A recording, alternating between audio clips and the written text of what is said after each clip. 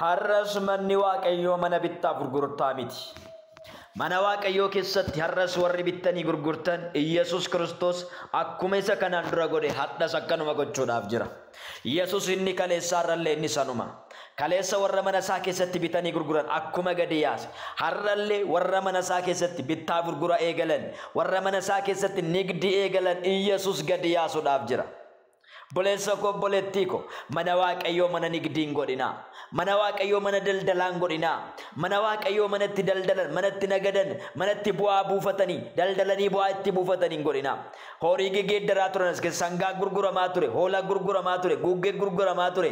maallaqni sharafamaa ture wantoota adda addaatu mana waaqayyoo keessatti geggeeffamaa ture. Iyyesuus kiristoos garuu gaafa dhufe gaafa dhufeetoo arge kana gochuu isaanii gaafa arge warra kana godhan waan achi keessatti godhamaa jirus hundasaa gadi yaase